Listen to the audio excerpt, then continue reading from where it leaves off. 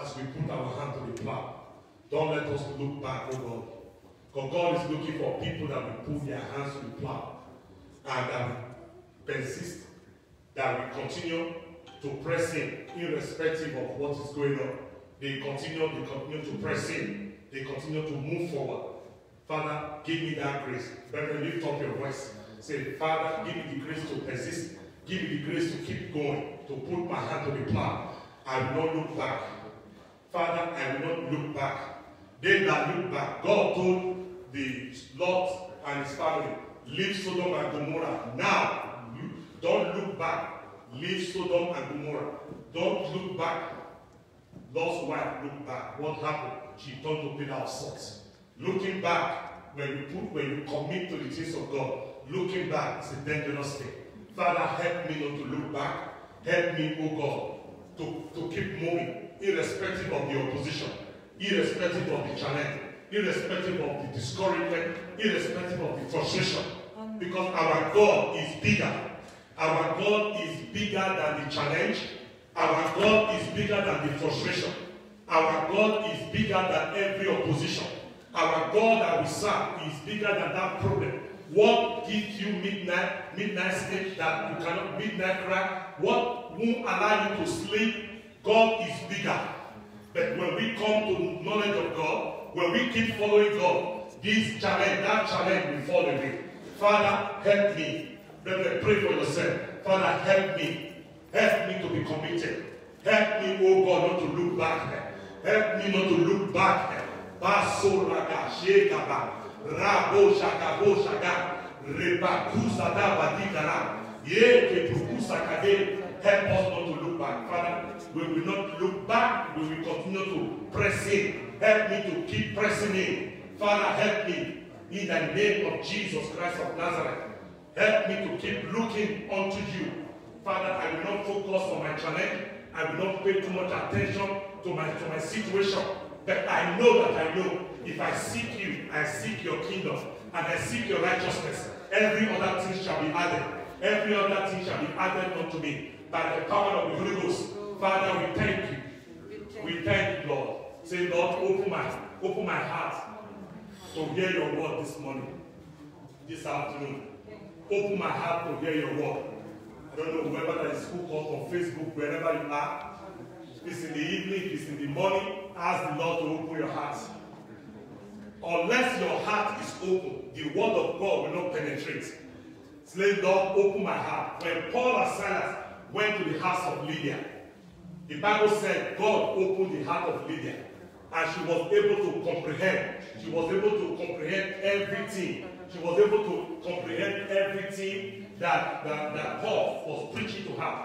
Was able to comprehend. And because of that, salvation came into her house. And all her household, they were saved. Because God opened her heart. Brethren, ask God to open your heart. Lord, open my heart. Oh, Bradesh, Kerebos. Lebrodo se kabura marabadesh. Oh, sheke beke sheke beke bloke dikada. Robo sakada ba. In Jesus' mighty name we are praying. Amen. In Jesus' mighty name we are praying. Amen. Let's put our hands together for Jesus. Let's put our hands together for God. He's worthy to be praised. You can have a seat. You can have a seat. It has been a long time. Don't get me wrong. Online is good. Zoom is good. Uh, everything is good.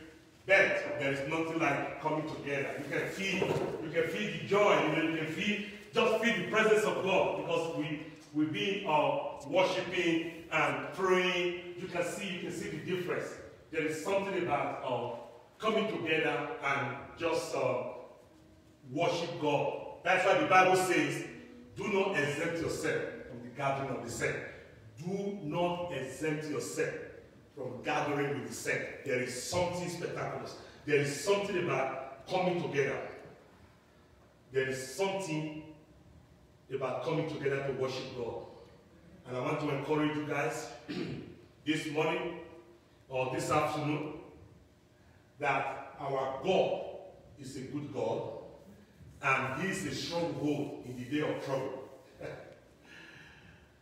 if you know who God is in your life, you take it differently. Many people don't know who God, who, who God is in their life.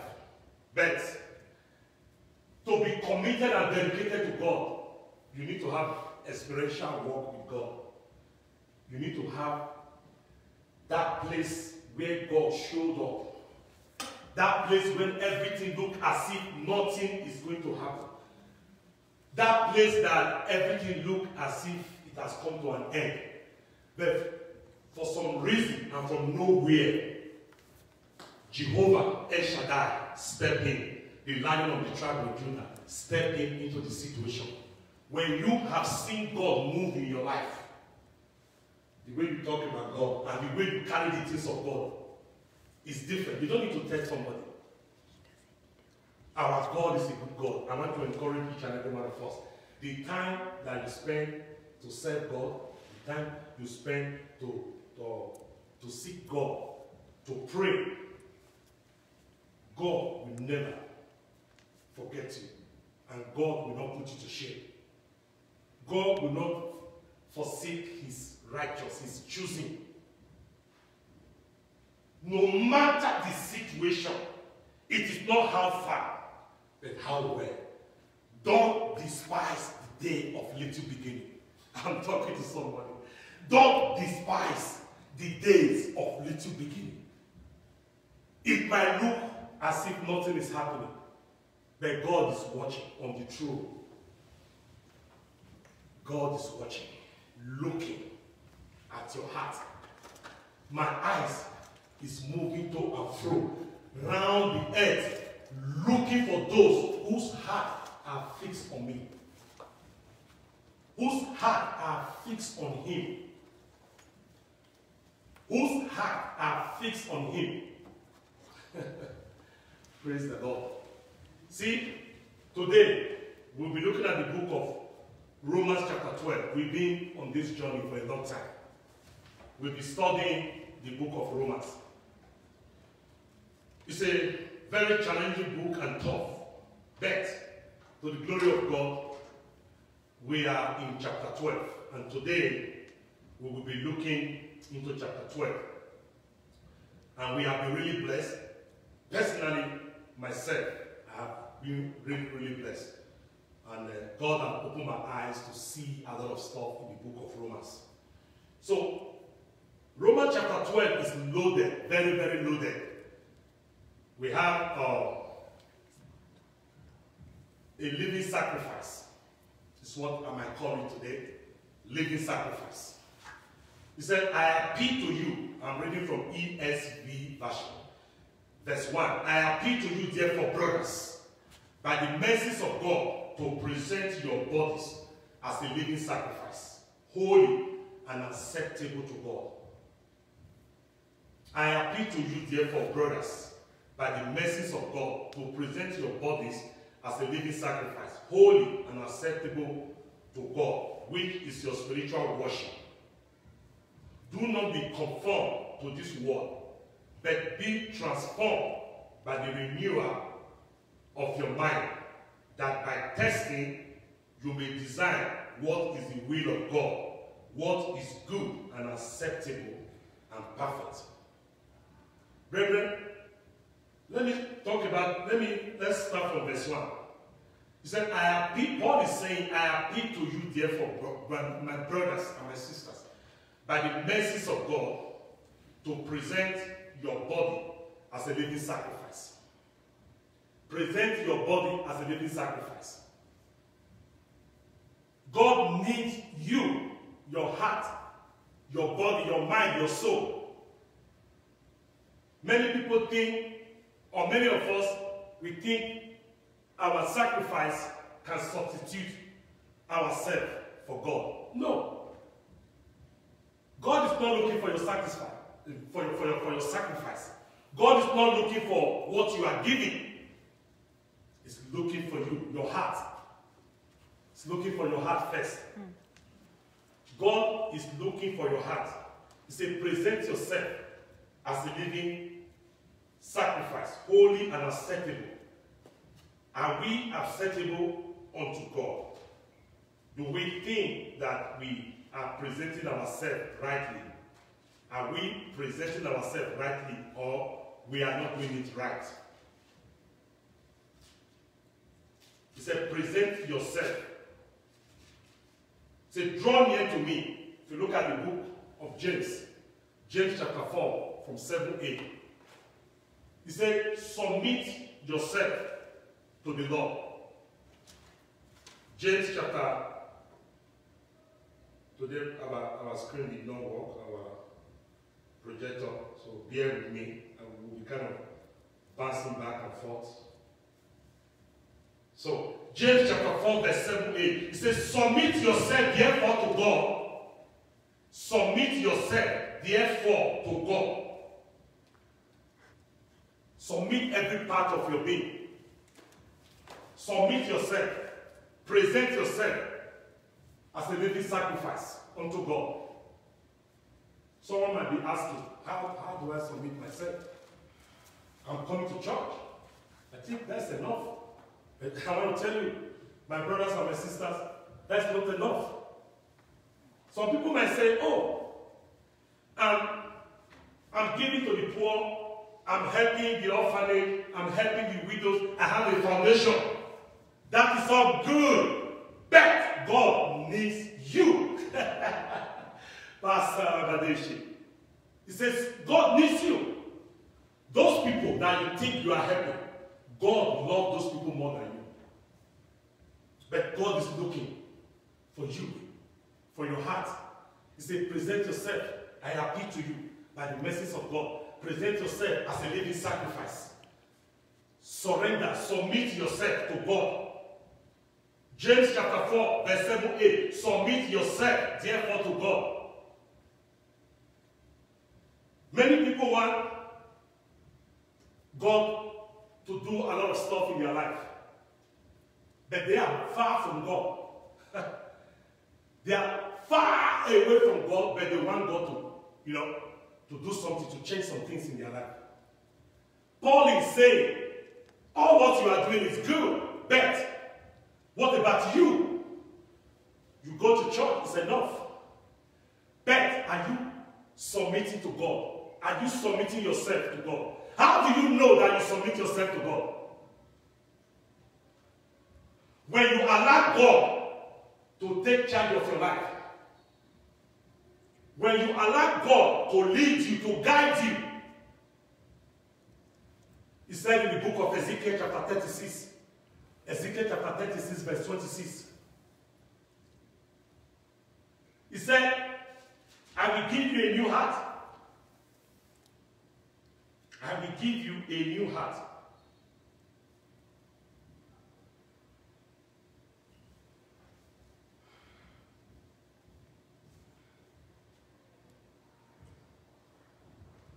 I will give you a new heart and put a new spirit within you. I will take the heart of stone out of your flesh and give you a heart of flesh. Submit yourself to the Lord. Submit yourself, therefore, to God. Present yourself as a living sacrifice. Present yourself as a living sacrifice. Are you presenting yourself as a living sacrifice? Are you submitting yourself? Are you submitting yourself to God? He promised you in the book of Ezekiel, He said, I will give you a new heart. But there is a condition. I will give you a new heart. But to those who submit themselves to God. If you submit yourself to God, He will give you a new heart. Because God cannot force his, the new heart into your life. God does not force people to serve Him. God does not, I mean, uh, put pressure on you. Because when the Holy Spirit is gentle, He said, submit yourself to God. Present yourself as a living sacrifice. But it will not work unless there is a transformation. unless there is a change in your heart. Submit yourself to me, and I will give you a new heart. I will give you a new heart. I will give you a new heart and put a new spirit within you. I will put a new spirit within you. I will put a new spirit. If you still have the old heart, that means you are not fully, you have not fully submitted to God. And as a result of that, the Spirit of God, He can't put the Spirit in you. He cannot put that Spirit because you still have a stony heart. But you need to come closer. You need to come closer.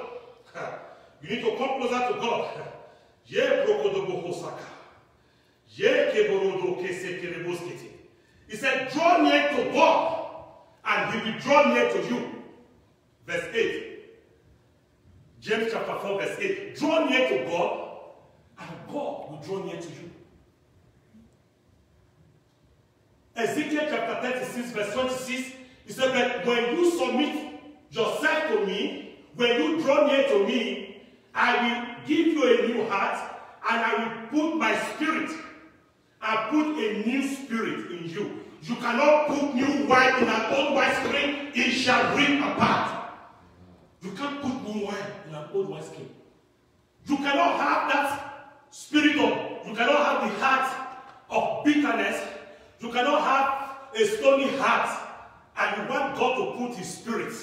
But first of all, present yourself as a living sacrifice. Submit yourself. You know, sometimes when during Christmas or so, or when you go to a butcher house where they actually slaughter animals before they take them to market. Like they submit themselves to the butcher. They have no choice. Submit yourself to me.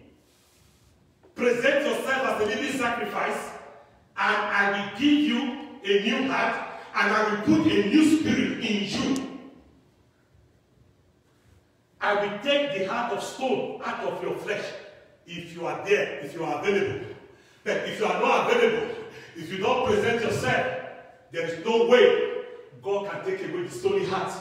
When you present yourself, when you are available, then God will be able to walk in your heart. I will take the heart of stone out of your flesh, and I will give you a heart of flesh. I will put my spirit within you and cause you to walk in my status, and you will keep my judgment and do them. Why is it that people are in the church from week to week, from year to year, and they still do things that they are not supposed to be doing? Why? It's because of this. Because they are not fully. Paul knew this. That's why he was telling them. Submit yourself, present yourself as a living sacrifice. So that I can do something new in your life. I want to do something new. Present yourself. I will put new spirit. After I have taken this, this, the, the stoning out of you, I will put a new spirit. My spirit will change you and cause you to walk in my status. See, you cannot walk in God's status with your own mind. You cannot. Many people try to do it with the stony heart. You want to walk in the status of God. That is against the scripture. That's against the word of God. It is the spirit of God, the new spirit, that collide with your new heart. That is what will cause you to follow the will of God. And God begin to direct you. You begin to hear his voice. Because the spirit of God is there to guide you, to direct you, to, to lead you to where God is taking you to. But if there is no transformation, if there is no change in our heart, there is no way we will be able to do that. He said, Draw near to me, and I will draw near to you. Submit yourself, therefore, to God, resist the devil, and he will flee from you. Many people want the devil to flee from them. Many people want to cast that demon. But you need to know who you are. Do you are you fully in compliance? Do you fully submit yourself to Jehovah? Submit yourself before you will be able to resist the devil. If you yourself is submitting to God, you will know. If you are not submitting to God, you know. If you are not presenting yourself as a living sacrifice, you know. And your spirit, the Holy Spirit, bring that uh, conviction in your heart. He said, resist the devil and he will flee from you. Draw near to God and he will draw near to you. Cleanse your hands, you sinners, and purify your heart, you double-minded. Purify your heart. Everything is about your heart. Everything is about the heart. Purify your heart, you double-minded. If our heart is not purified, we are double-minded. And what did the Bible say? A double-minded person will not receive from God. That is why you see people pray and pray and pray. There's no proof that they are children of God. They, because they cannot resist the devil, one. Because people are not submitting to God. They are not presenting themselves as a living sacrifice. They are not 100% submitting their life to Christ Jesus, but they want God. They want to resist the devil. They say they love God. They use their mouth, but their heart is far from God. Some people worship me with their lips, but their heart is far from me. Matthew chapter 15, verse 8. Their heart is far from me. Brethren, are you presenting yourself as a living sacrifice? Are you a believer or just adding numbers to church? To have so many people come to church is good. But if there is no change, year one, year two, year three, year four, year five, there is a problem. Because the gospel of Jesus Christ is the gospel of change. If there is no change, you watch your members as a pastor. The people that come that came into your church, there is no change. Then you need to change your message. Change your message. Go and seek God. Because when Jesus Christ was on earth, his teaching came with authority.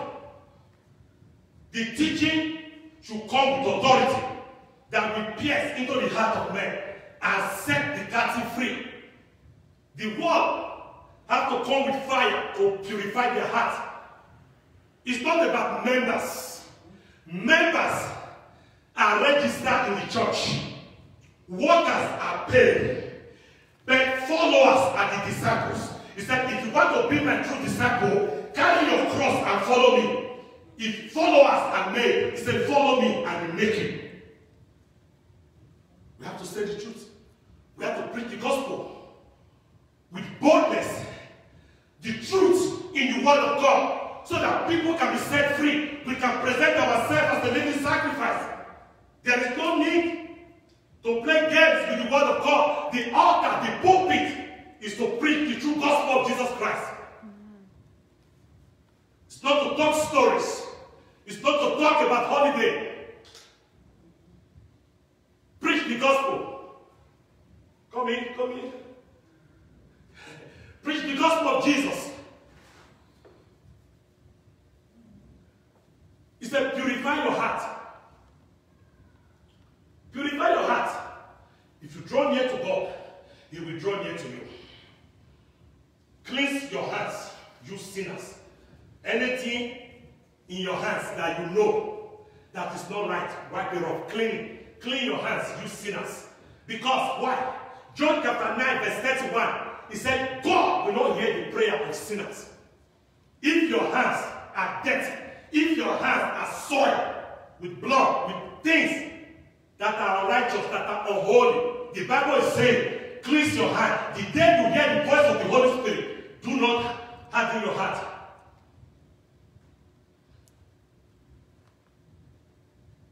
Purify your heart, you double-minded.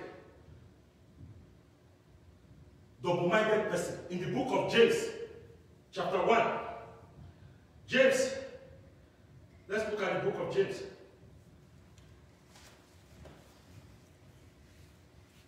James, chapter 1, verse 5. Let's, let's start from verse 5. If any of you lack wisdom, let him ask God, who gives generously to all without reproach.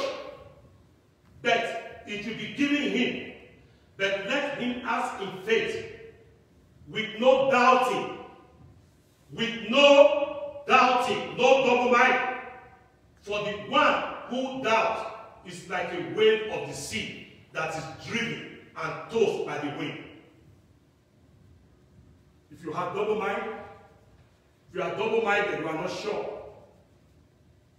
You are not sure of what you are doing. Should I join them? Today you run to this place. Tomorrow you run here. Next tomorrow you go there. That's double mindedness. Repent if you are doing that.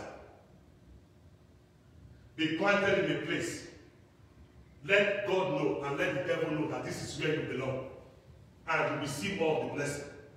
Don't be carried by the wind. Don't be carried with what you see. Don't be moved by sight, but moved by faith. If God has called you to a place, if God has called you to a work, stay put. Because it's the work of God.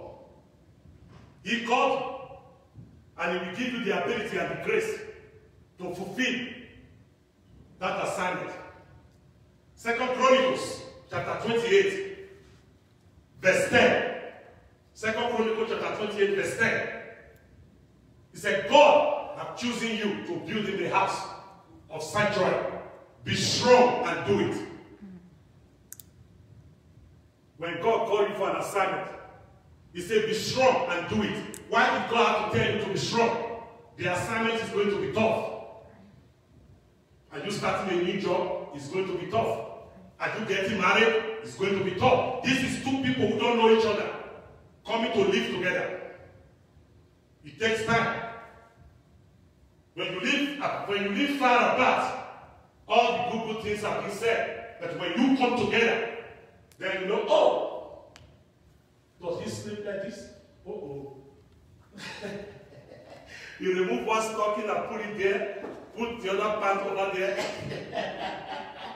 I didn't know that you can do this. Oh my God. Then, be strong and do it.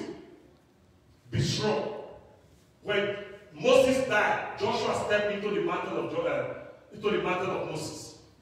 In the book of Joshua, God told Joshua, He said, Be courageous, be strong and courageous. Why? Because a new assignment. And anything that looks, anything new is going to be tough. But God says, First Thessalonians chapter 5, verse 24, He said, Faithful is he that calleth you, he also shall do it. But don't quit. Do not quit. Stay put. Put your hands to the plow. God is a God of, of tenacity. God carry in a place, this is what I want to do, he will stay put. If we are going to live like him, let's do what he has called us to do. He said, present yourself as a living sacrifice, holy and acceptable to God, which is your spiritual worship. Do not be conformed to this world. Don't be conformed to this world, but be transformed by the renewal of your mind, that by testing you may design what is the will of God, what is good and acceptable and perfect. Do not be conformed to this world. Do not be conformed to this world. But be transformed by the renewal of your mind, that by testing you may decide what is the will of God, what is good and acceptable unto God. What is the word? Don't be conformed to this world. See, the world we live in, don't try to adapt yourself to the way the world thinks. Because the way the world thinks is contrary to the word of God. It's contrary to the way God thinks. The will of God is totally different from the way the worldly people, the way we think in the world. Do not be conformed to this world, but be transformed by the renewal of your mind. If you go to the book of, if you go to the book of Second, uh, Second Corinthians chapter 4, Second Corinthians chapter 4, verse 4. Second Corinthians chapter 4, verse 4. He said, in their case, the God, that is the God with small g, not our God, not the God that we serve, the God with small g. In their case, the God of this world has blinded the minds of the unbelievers. Hmm. To keep them from seeing the light of the gospel of the glory of Christ, who is in the image of God. oh my God. The God of this world has blinded the minds of the people. Do you know that minds can be blinded? The minds of the unbelievers. Who are unbelievers? Those who don't believe in Christ Jesus. They are unbelievers. But many people say, oh, God loved everybody. God created everybody. Yes. To keep there, there, we have God with small g to keep them from seeing the light of the gospel of the glory of Christ, who is in the image of Christ. Let's go to the book of John. John, John chapter 3. John chapter 3, verse 21. John chapter 3, verse 19. John chapter 3, verse 19. He said, and this is the judgment the light has come into the world. And people love darkness rather than the light because their works were evil. The light has come into the world. But people, because of that God with small g, blinded the mind of the people that they cannot see the light. And this, the light has come into the world, which is the word of God. Because entrance of the word of God brings light and understanding to the simple. Entrance of the word of God brings light and understanding to the simple. The word of God is a lamp unto my feet and a light unto my path. And it's the word of God that renews people's mind. We will get there. The light has come into the world, and people love darkness rather than the light because their works were evil. Their works were evil because they love darkness. Because every activities of the enemy is done in the dark. For everyone who does wicked things hates the light and does not come to the light, lest his works should be exposed. Many people who are unbelievers, who are not ready to accept the light, to accept the good news, the gospel of Jesus Christ, they are afraid to come close to the light. Because when they come to the light, there's going to be an exposure. He said their, their evil deed will be exposed. Don't be surprised that some people, for some reason, they don't want to come to where the good news is preached. This is the Bible. This is the scripture. This is not my word. Somebody that want to be transformed, somebody that want to change, they will open their hearts, they will accept the light, and the light will bring illumination and will bring revelation and transformation. Their mind will be renewed. Then they will start to walk in the status of God. But some people are not ready because they love darkness and they hate the light. As a church, we have responsibility. Mm. We have a job. We have a work to do. That is where church have to come in. Begin to intercede. This morning we were praying for this service. All the prayers we were praying. Praying for, praying for harvest of soul. Praying for the contending with the, with the heart of men for righteousness to be established in their life.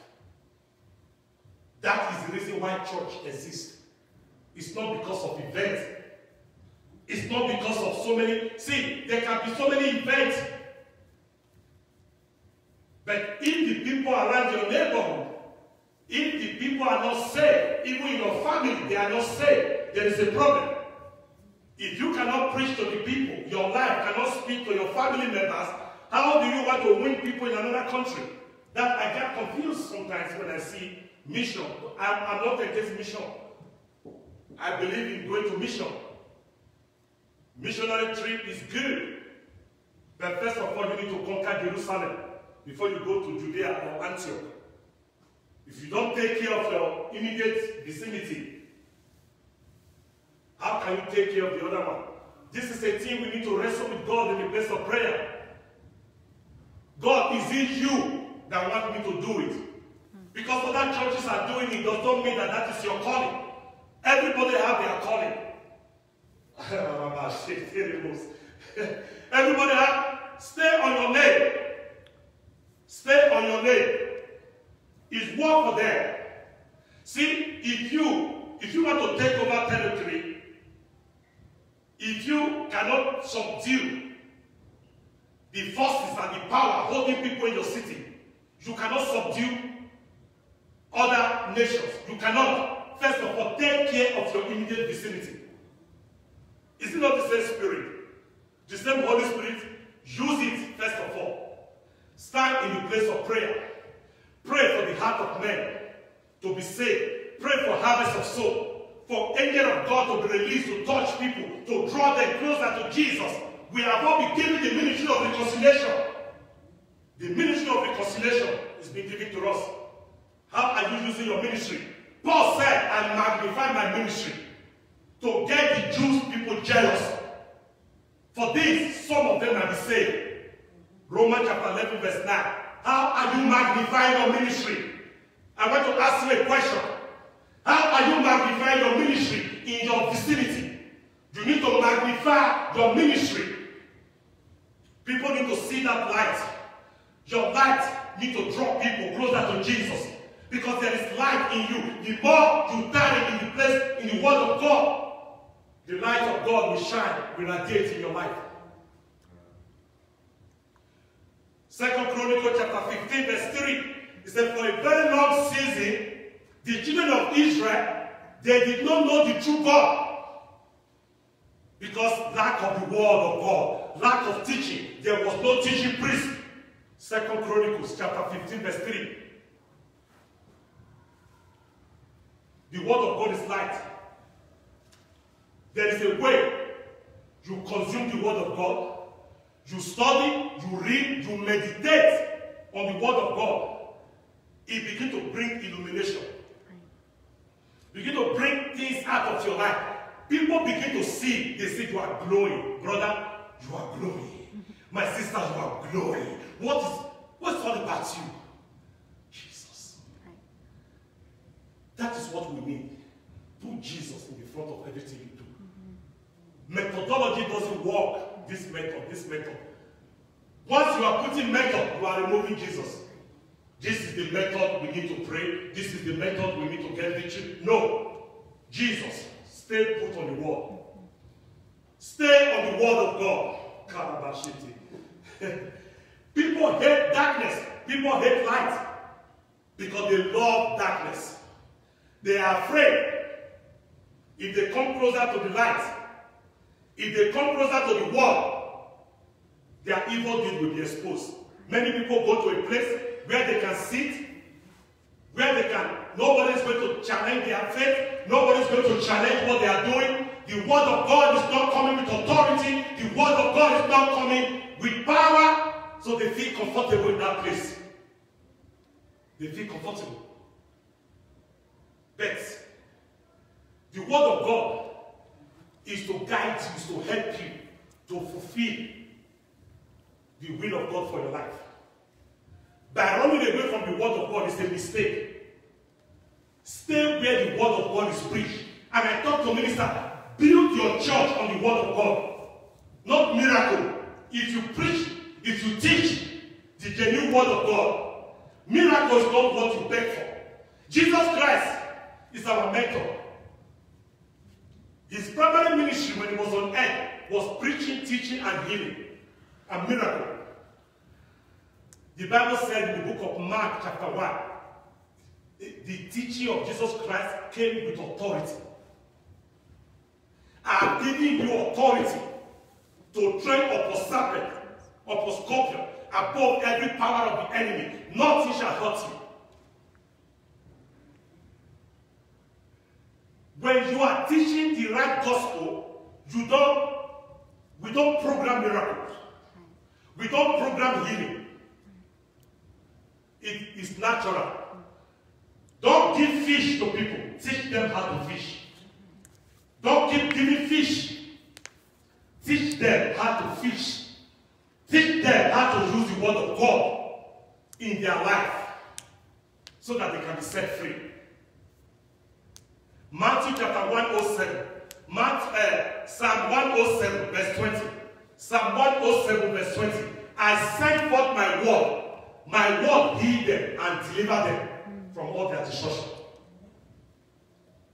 When God, when you teach the word of God, as you are teaching, people are getting healed. As you are teaching, people are getting delivered. Philip, when Philip went to Samaria, Philip did not lay hands on people. He was preaching the gospel of Jesus Christ. Unclean spirit started crying out from the people. When Jesus Christ was moving, because of the power of God, because of the authority that Jesus Christ carried, people with unclean spirit, they convulse because of the power. We need to get back to the teaching of the cross. Keep teaching the word of God. Teach the people. The more fish you give them, you are holding their hands. You are telling them you can't do it. I will be the one only one feed. Feeding you, feeding you. No. It is time to start teaching them how to use the word. How to resist the devil. Teach them. If you don't submit to God 100%, you cannot resist the devil. If you are far from God, draw near to me, I will draw near to you. They need to know.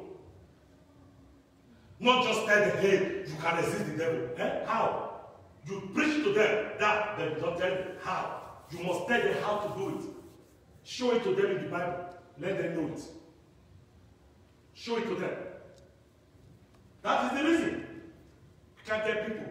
People come to church before you know they fall out of church. Because there is no there is no meat. It's milk. They drink milk and milk and milk, then they walk away. No change. Then we said people are getting saved. How? I asked one pastor, how are people getting saved? How do you know the number of people that are saved in your church? Every year, you talk about people, we got so many number of people, people that saved. You said those that get baptized. I said, that is how you know that people are saved? He said, yes. I said, no. Where are the people that got baptized? Last year, where are they? They are not there. Because you dumped somebody inside the water does not mean that they are saved. We talked about it last time. They are not saved. They need to hear the gospel of Jesus Christ. I am not ashamed of the gospel of Jesus Christ, for this is the power of God unto them that believe. I am not ashamed of the gospel of Jesus Christ. Preach the gospel. Teach the gospel.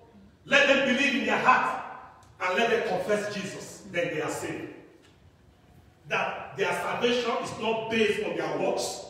Their salvation is not based on what they do with their human effort. Their salvation is based on the faith of, of Jesus Christ, of the grace of Christ. You cannot use your power to get saved.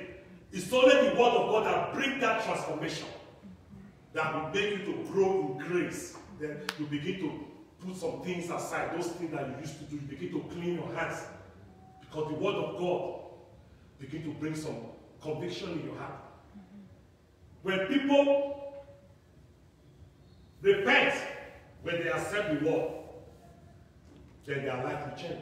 But if they don't accept, then it's going to be terrible.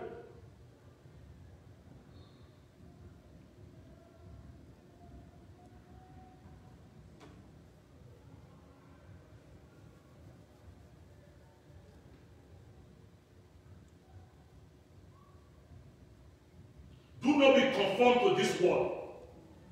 Don't be conformed. First Corinthians chapter 3, chapter 7. First Corinthians chapter 7, verse 31b. First Corinthians chapter 7, verse 31b. And those who deal with the world as though they had no dealing with it, for the present form of this world is passing away. Somebody might ask, why is Paul telling them not to conform to this world? Because the world is passing away. the world is passing away. For the present form of this world is passing away. If you go to the book, let's go to the book of John. First John. First John chapter 2, verse 15 to 17. Do not love the world or the things in the world. Do not love the world or the things in the world. If anyone loves the world, the love of the Father is not in him.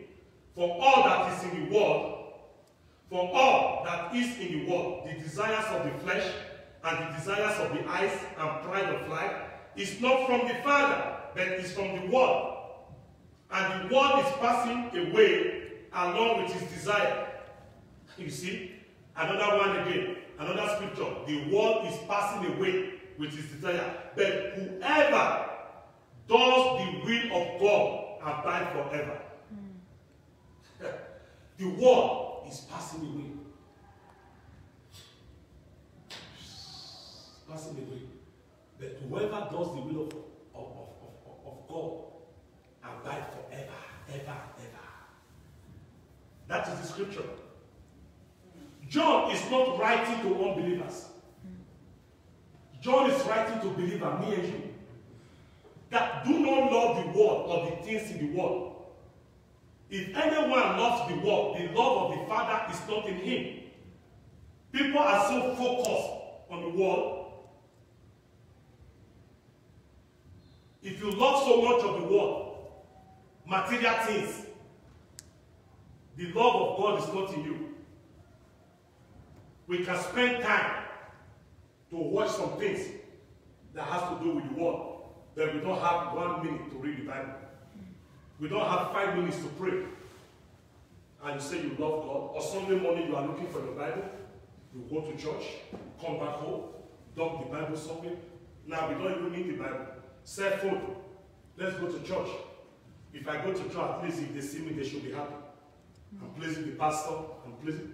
I mean, please the pastor. Pastor is running his own race. You are running your race. Pastor is doing his own. On that day, pastor will be standing on his own. You will be there by yourself.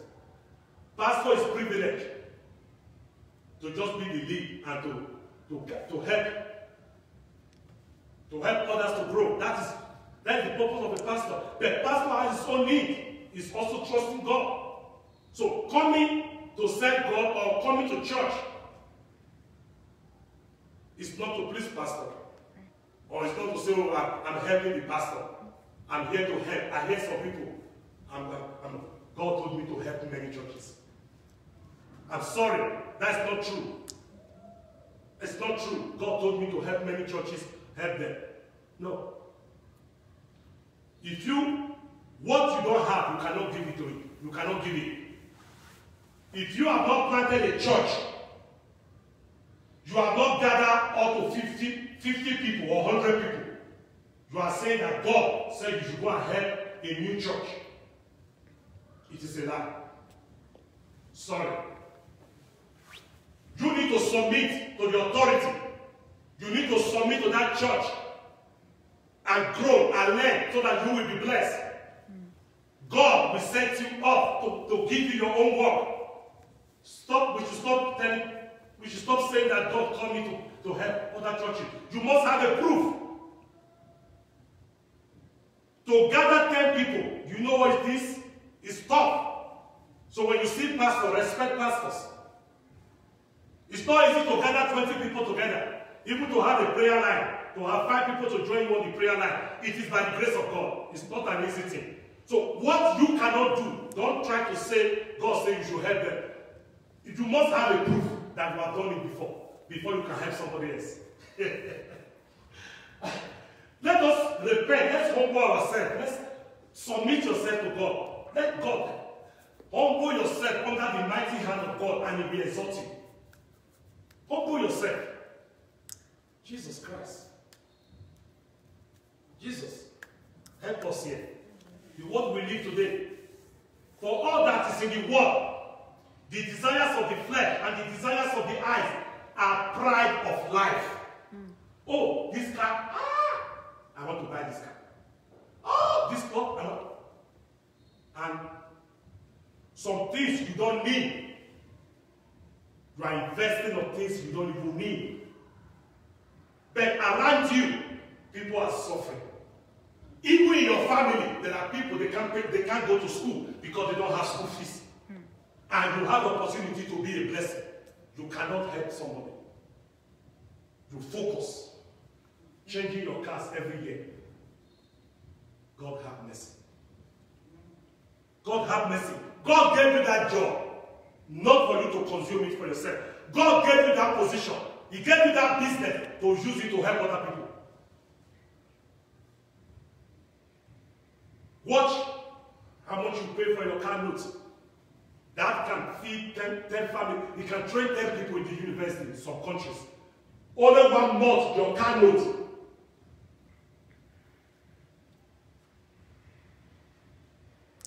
I'm not against buying things or buying cars, but help people around you. There are people. God gave you that money to be a blessing. Be a blessing. And the world is passing away. He said, it's not from the Father, but it's from the world. When, when you have the desires of the eyes and pride of life, it's not from God, it's from the world. And the world is passing away along with its desire. The world is passing away. But whoever does the will of God abides forever. If you do the will of God, you abide forever. He said,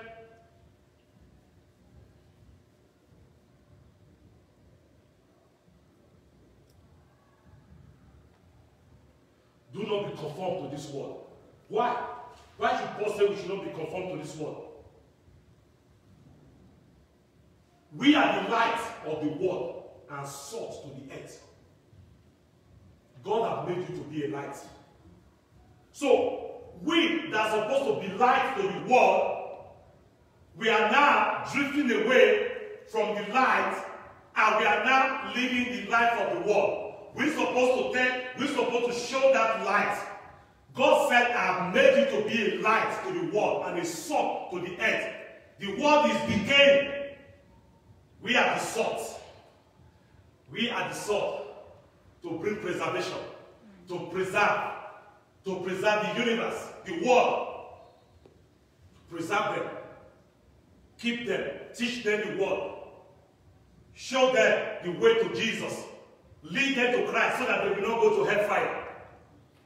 That is our job. God has made you to be a light. How is your light? Is it shining enough? Is your light shining enough or is dim? You need to wake up. Many people are sleeping and the light is going down. When men slept, the enemy sowed tares. The light that God has given, God has made you to be a light. How many people are seeing that light in you? Mm. Your neighbors. How many people are seeing that light? Mm. Do not conform to this world. Because you are the light of the world. Don't join them. Don't join them to do what they do. Don't join them to do the evil. Don't join them to do evil. Stay away. Exodus chapter 23 verse 2. Exodus chapter 23 verse 2. He said, don't join multitude to do evil. Because people are doing it as a child of God does not mean that you have to do it. Because you are the light. God has made you to be a light. to the world and a light, a salt to the earth. A salt to the earth. Wherever you find yourself, there is no coincidence in God. God put you there for a reason. Where is your light? Are you are you performing that role? The role of a light. In your neighborhood, in your office, in your business. What will your co-workers say about you? Did they see the light in you? He said, let the light of God that is in you so shine that we will know who God is in your life. Let the light of God so shine that men will see. In your office, in your family, did, did they see the light? What will your husband say about you? What will your wife say about your life? You are trying to get him to church. He's not going to church with you. What, with your, what will your husband see? Did, did, did he see that light in you that will break his heart and say, hey, honey, I think we need to go to that, I need to go with you to that church. What will your, your wife see in you? Your children, what will your children say about your light? Are you fulfilling that role as a father, as a mother in your family? Did they see the light in you? If your family cannot see the light in you that you really serve a, living God, I don't see how you can minister to other people. I'm sorry. Please don't get offended. I don't see. Because your light need to shine. Do not conform to this world, but be transformed by the renewal of your mind.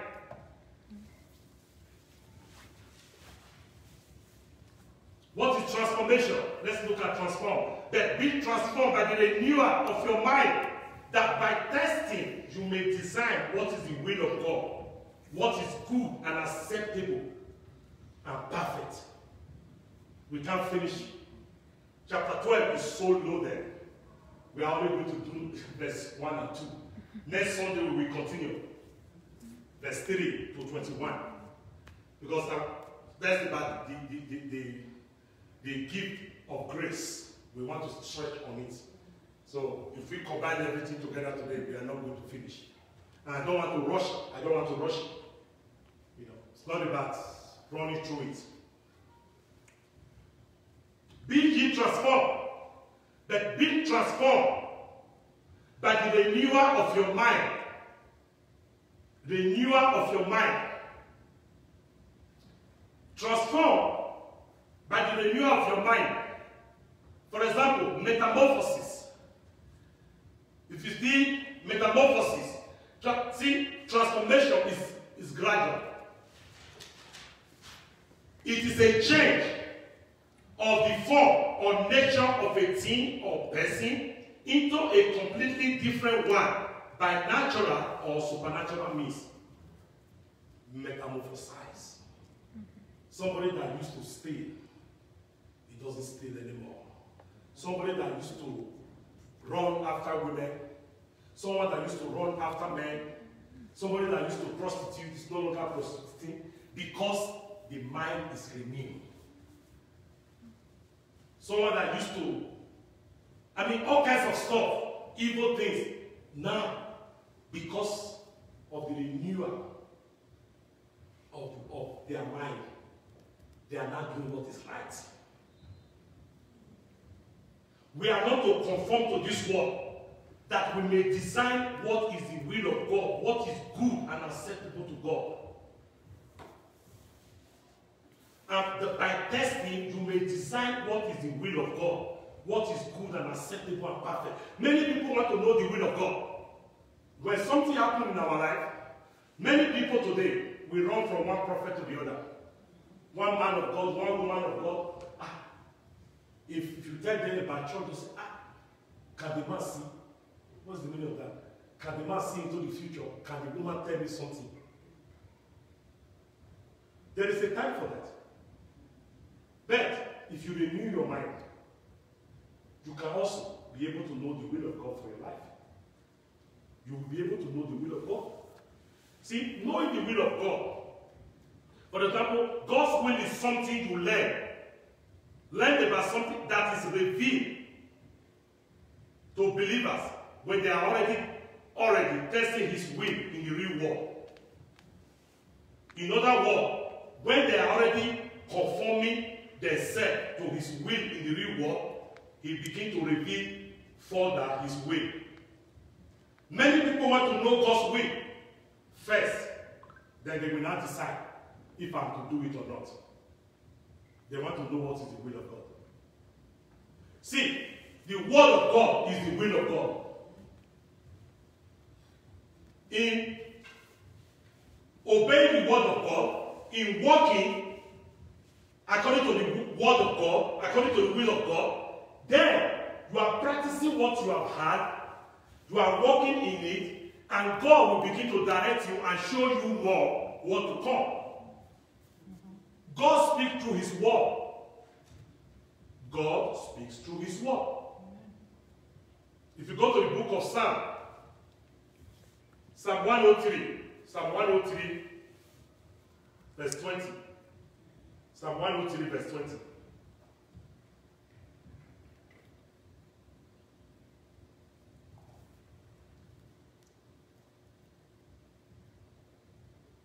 Say, bless the Lord, all you, his angels, you mighty ones who do his word, obey the voice of his word. There is a way you will walk according to the word of God. You are practicing it. It's just like your faith. Your faith does not come overnight. You build up your faith. You build up your faith. Faith is the substance of things hoped for, evidence of things that are not seen. So, you build up your faith, you test it, it works, then your faith grows.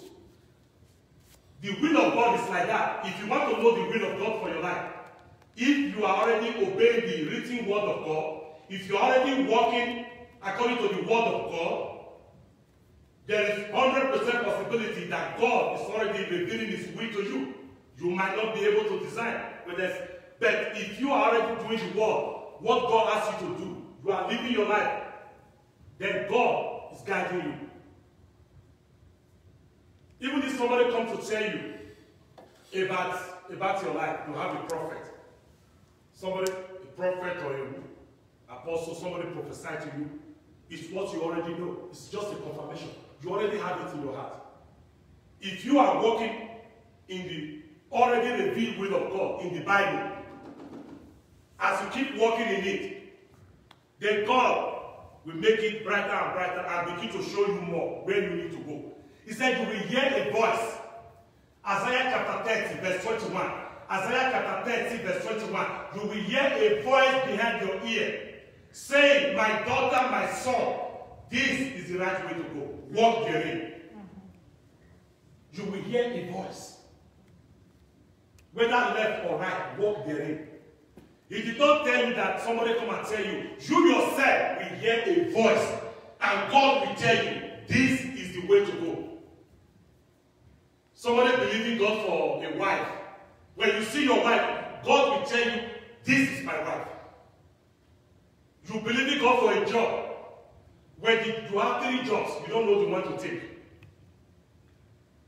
I'm telling you, God will speak to you. He will tell you, this, he, if you're already walking in obedience, in obedience with the written word of God, God will speak to you. He will tell you. Because God will not allow you to make mistake. Because you are a faithful daughter, you are a faithful son. He will guide you to all truth. He will lead you.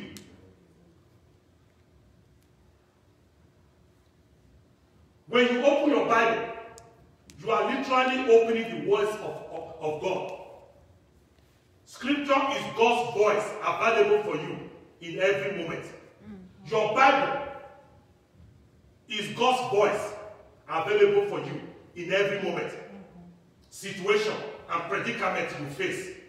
You can know God's desire to speak to you because you have it in your possession, His voice through the Bible.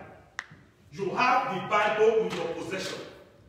God will speak to you. You are carrying anytime you carry your Bible, you are carrying the voice of God. But people don't know that. They want, they want to know the will first before I will do it.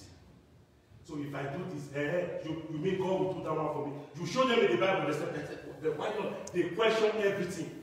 That is, they are not ready to submit. They are not ready to listen.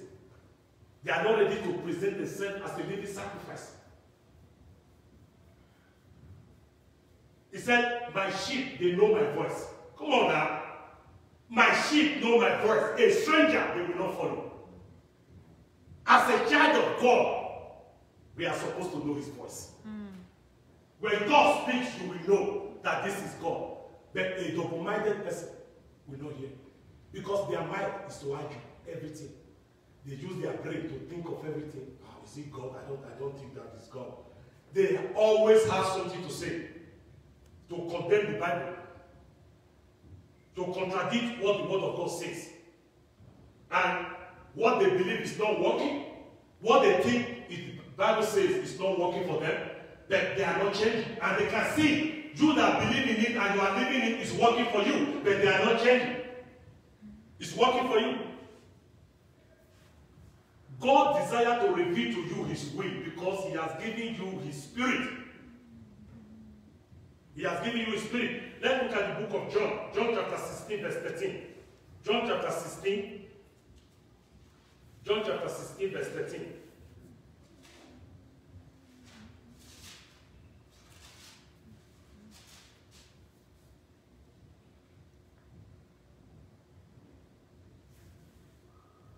However, when he, the Spirit of truth, has come, he will guide you into all truth.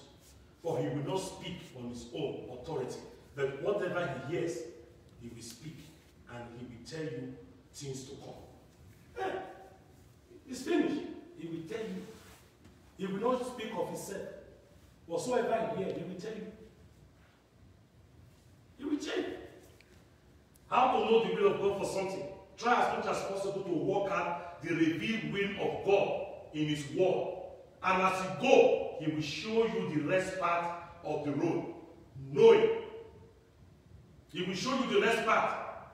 Try as much as possible to walk out the revealed will. Try to walk this Bible out. Try to live according to, according to the Word. Try as much as possible to walk out the, the revealed will of God in His Word. And as you go, he will show you the rest part of the, of the road. Walk on the road that you, you do know, and the rest of the road will, re, will, will, be reveal, will reveal itself as you go. The one you know, walk on it, the word of God. And as you go, God will reveal the rest to you. See, God does not reveal everything at once to you is itinerary by itinerary. If you look at the Bible, he did not reveal everything.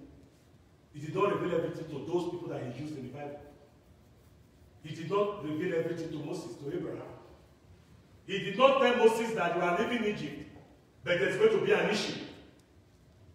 By the Red Sea, you, there must be there must be a problem. There's with the, the, the direction you are taking, Red Sea is going to come. He didn't tell you. But God was leading them. He's faithful, and his mercy endureth forever. He led them out of Egypt. Listen to this. I think God is blessing somebody here.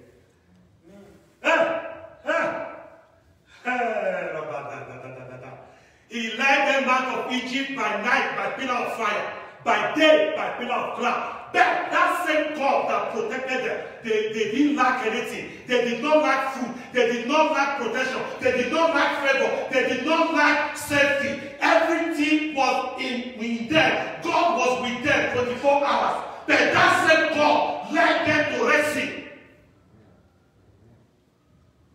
That same God took them through that path for them to go through the Red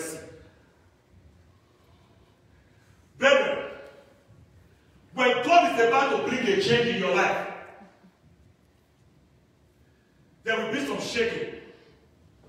There will be some, some things will happen that will even make you, God, are you still with me? Some people will be questioning God.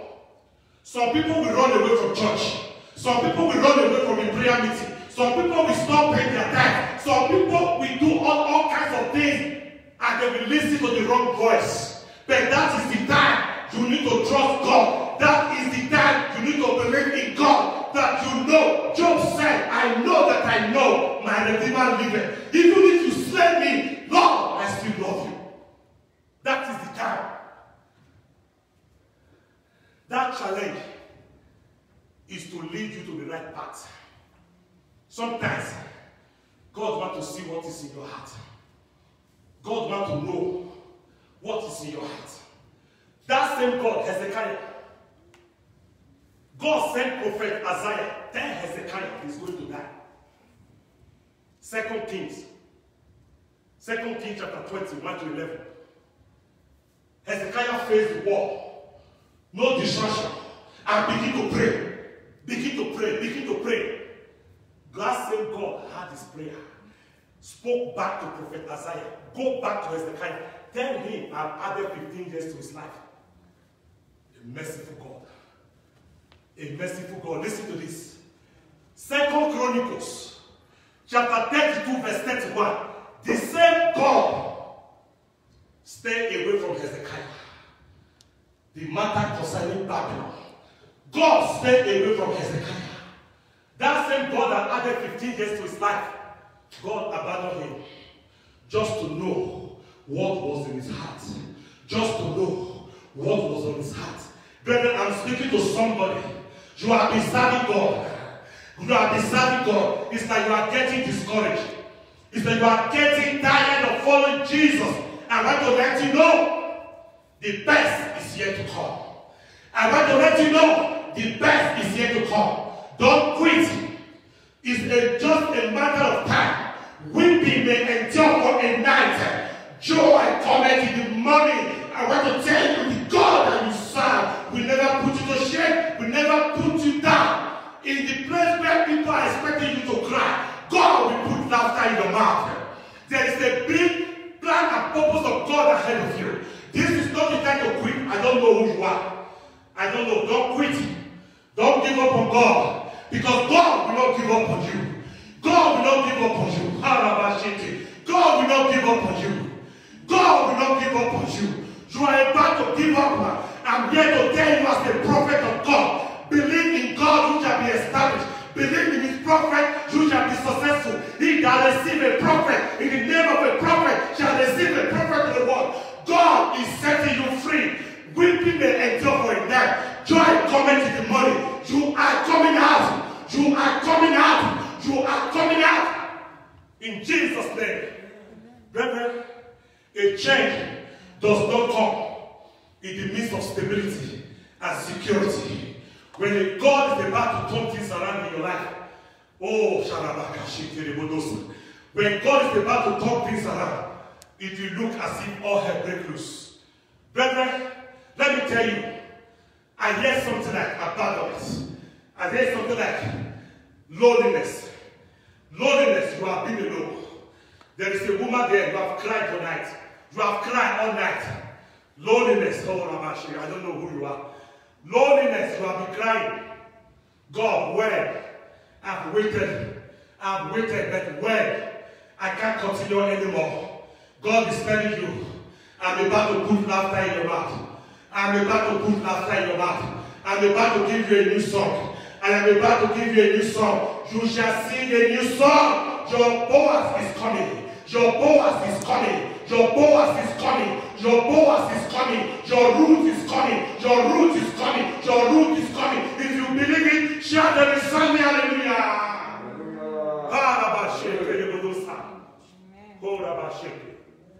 Brethren, people you don't expect they will disappoint you. But it's okay. It's okay. Because when God gave you the assignment, they were not there. But people that will stand with you, God will bring them. People that will stand with you, God will bring them. See, sometimes God will allow the people to leave. If you don't face, ask Moses, even Moses' family member, Aaron and Mary, they can't go against Moses. They gang up against Moses. I don't know who is this man of God I'm talking to. There is a pastor watching. There is a pastor. There is a pastor here. It's like people that you trusted. They deserted you. They left. Don't worry. I had a sound of abundance of rain. Ah, a tree that is cut down shall sprout again. I don't know who you are. You are a pastor. I don't know who you are. You are watching this thing. A tree that is cut down shall sprout again. A tree that is cut down shall sprout again. You are not going to be like that. See, God allowed that to happen. God allowed the people to disappoint you so that you will run close to God. If you are too close to men, you cannot focus on God. God allowed them to go so that you can draw closer to Jesus. Wipe your tears. It's like you are crying. This man of God, I don't know who you are. You are a man. That church, God is going to grow that church. The right people, they are coming. Don't quit. This is not the time to quit. I beg you. I don't know. Ah! This is not the time to quit. The brighter days are coming. Don't be moved by sight, but moved by faith. Oh, kakabashikiti. He said, God will prepare a table before you in the presence of your enemy. They thought that they are doing you bad, but they are moving you forward. They are drawing you closer to God. When you come close to God, one with God is majority. One with God is majority. If God be for you, who can be against you? If God be for you, who can be against you? Faithful is he that calleth thee, he also shall do it.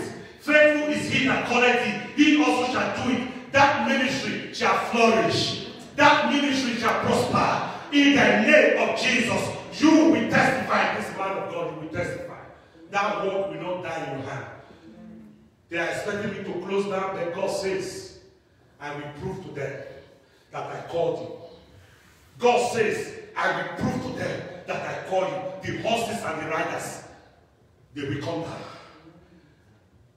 The horses and the riders, I will bring them down. I am God. I am the God. I change it not. I will prove to them that I called you. They will see it. Don't be discouraged, man of God. Don't be discouraged. Don't be discouraged. Don't be dismayed. He said, I will help you. That's what I'm hearing. I will help you. Prophecy for one prophecy for all. Anyone watching, anyone here, you can receive it for yourself. He said, I will help you. I will strengthen you. I will raise you up with my with my right hand, with my righteous right hand, in the name of Jesus. It is well with us. Brethren, the will of God. It might not be what you want. You are expecting to get that job. You are expecting to stay in that city. But God said, no, it is over. It is over.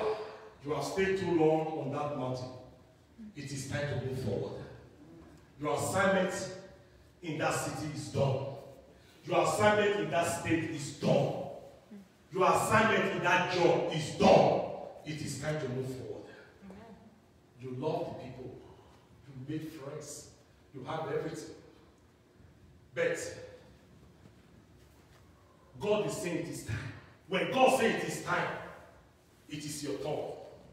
And He will guide you. Say, I will go before you and make every crooked pathway straight. I will go before you and make every crooked pathway straight. Who said a thing and come to pass when Jehovah has not spoken? Who said a thing and come to pass? Robo Shakabakashike. The will of God. Spend time to study your word. Spend time to practice the, will, the word of God. Spend time to read your Bible.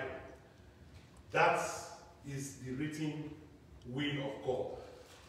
The voice of God is in His word. If you are addicted to the word of God, you will hear from God clearly. You don't need to struggle to hear God. It is your right. My sheep know my voice. A stranger, they will not follow. Mm-hmm. My sheep, they know my voice. They know the voice of God. A stranger, they will not follow. Brethren, present yourself as a living sacrifice. In summary, submit yourself to God, and you will resist the devil, and the devil will flee from you.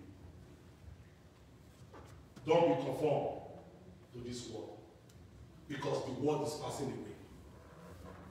Number two, because you are made to be a light to the world. So if you conform to the world, we are disappointing God. We have disappointed God. If we conform to the world, thank you, Jesus. Thank you, Jehovah. Thank you, Jehovah. So, today's our anointing service and our Holy Communion service. I know many people will have been waiting for this. Please, let's quickly take care of that so that we can, can be going.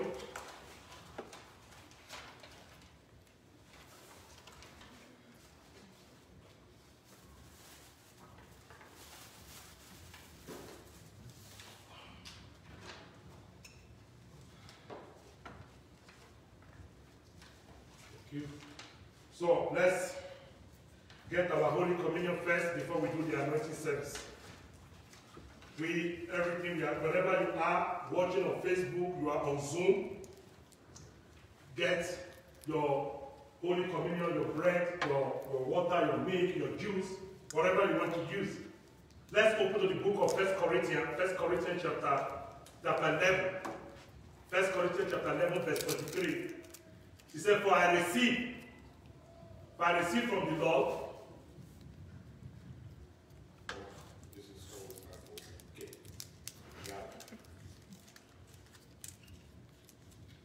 So, for I received from the Lord that which I also delivered to you, that the Lord Jesus, on the same night in which he was betrayed, you see, it's going to be a lot of betrayal. Even Jesus himself was betrayed. So who are we? People will betray you, they will betray you. So they betray Jesus. Mm-hmm. As far as you are living on earth, men, they, they will always be betrayers. And he has given thanks. He was betrayed, he took bread, and when he had given thanks, he broke it. He broke the bread. And said, Take, eat this, my body, which is broken for you. Do this in remembrance of me. Do this in remembrance of me. We go ahead, eat the body of Christ.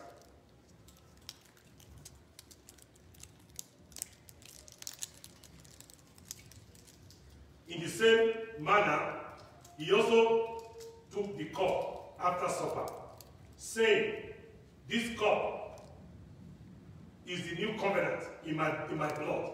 This do as often as you drink it, in remembrance of me. As I pray tonight, know what that is in remembrance of me. There are people, I don't know, there is somebody here having problem with their memory to remember things.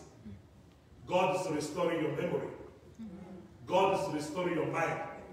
Wherever you are, as you, as you partake of this anointing, as you partake of this Holy Communion. Because somebody who has problem with their memory, they cannot do this in remembrance of him. So today mark the end of that problem, that issues with your mind in the name of Jesus. So this do as often as you drink it in remembrance of me. For as often as you eat this bread and drink this cup, you proclaim the Lord's death till he comes. Amen. Go ahead, go ahead, go ahead and drink the blood of Jesus. Anything that represents sickness, anything that represents sickness in your body is terminated in the name of Jesus. Amen. We command that sickness to leave that body in the name of Jesus. The Bible says any tree that is not planted by God can be uprooted. Anything that represents anything that is not of God, that is part of your being, you don't even know how that thing came. Swelling, rashes. Tonight, this afternoon, you are healed in Jesus' name. You are healed in Jesus' name. You are healed in Jesus' name. There is somebody here with rashes in their body. Rashes in your body. Rashes. God is putting an end to it. God is putting an end to that rashes right now in the name of Jesus. No more. And you will testify. You shall testify in the name of Jesus. There is somebody here, you have a problem with your ear. You keep hearing a ringtone. You are hearing a ringtone in your ear. It's like something is uh, uh, something is ringing in your ear. That is not of God. That is stopped now as you have taken this bread, this body of Jesus and his blood. It comes to an end. It's terminated. It's terminated in Jesus' name.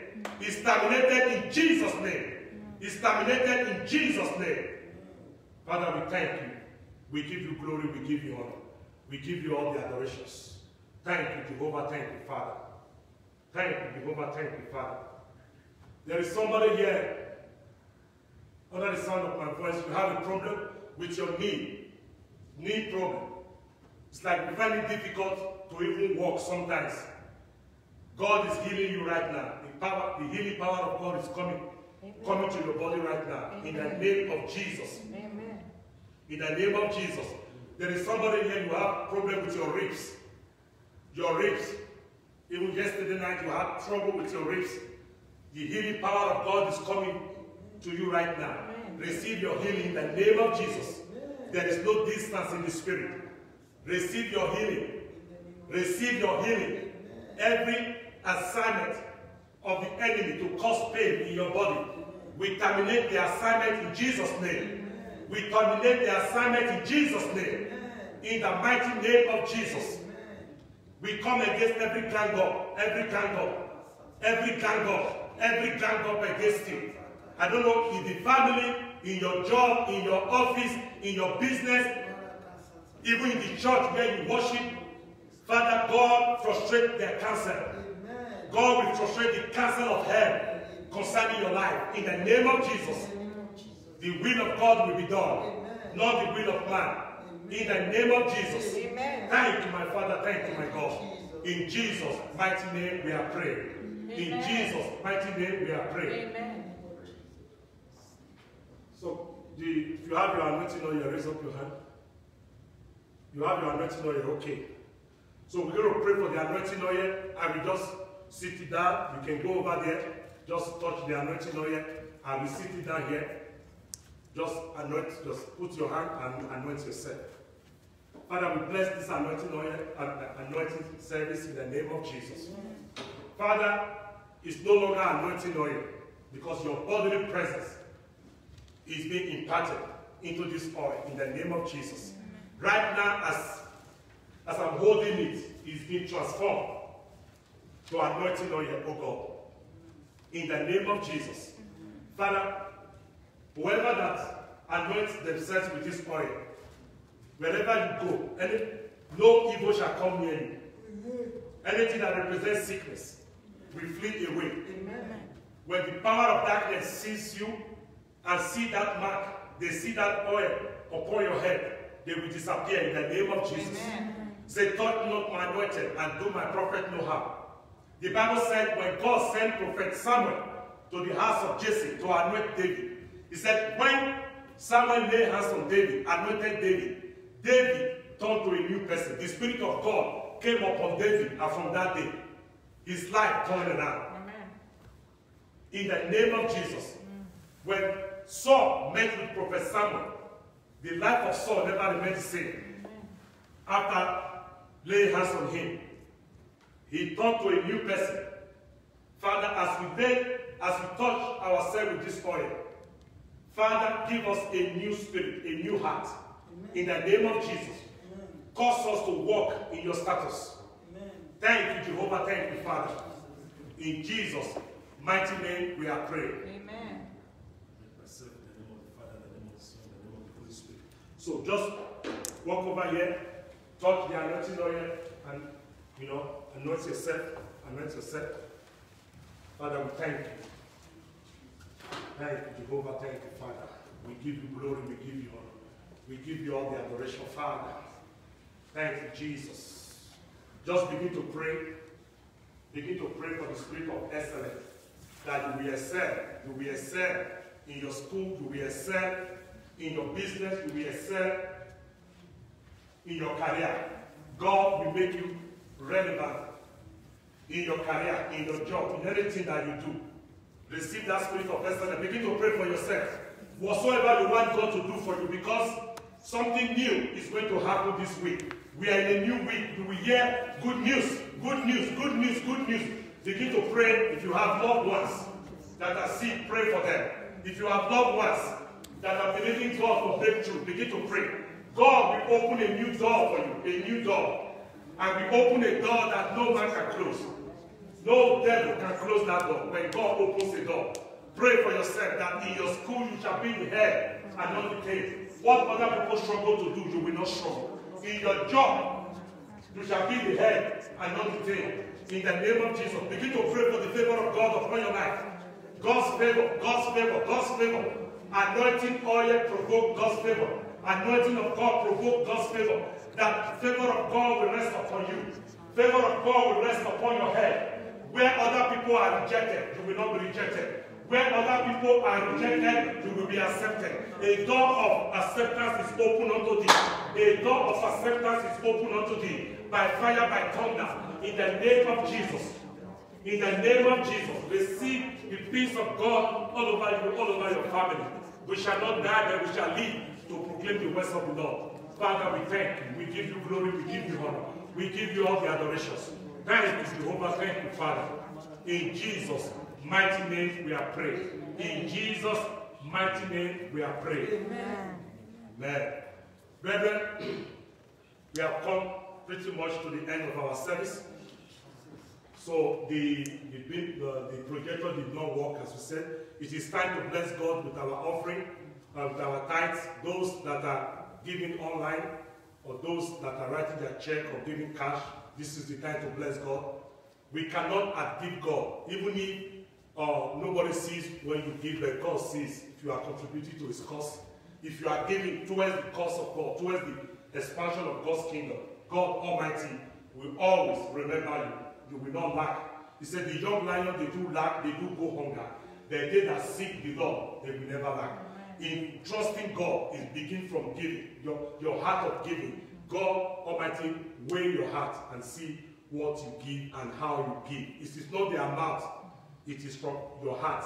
It is not the amount that you are giving, but from, from your heart. God is looking at your heart. This is the time to give offering. Those of us who are watching online, we, most of us, we have all the details how to give or sow uh, into Global Restoration Ministry. And as you do that, God Almighty will reward you and grant you your heart desires in Jesus' name. Grant you your heart desires in Jesus' name. Amen. It is well with us. Amen. Couple of announcements. This, this week is a new week. So our prayer starts on uh, Tuesday, 1.30. 1.30, we start, we start our prayer, prophetic prayer, 1.30 Central uh, p.m. Central Time. It will be 8.30 German time. Then on Wednesday, we will continue with the book of Ezra. Uh, the book of Ezra starts on Wednesday again because we were fasting last week. So we are going to read Ezra chapter 7, chapter 8, and 9, three chapters on Wednesday evening. So remember we have our midnight prayer. Our midnight prayer starts on Tuesday, 12 a.m.